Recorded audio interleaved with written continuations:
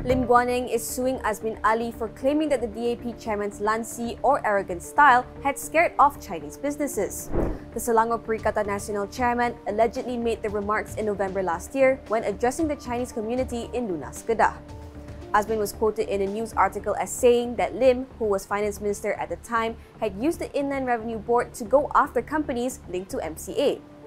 He then allegedly advised Lim to deal with matters related to tax evasion properly and not to be lansi.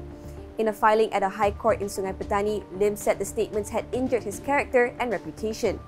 He said the remarks also made it look like he had abused his power as a finance minister and carried out selective persecution against companies linked to MCA. Natasha Bust, FMT News.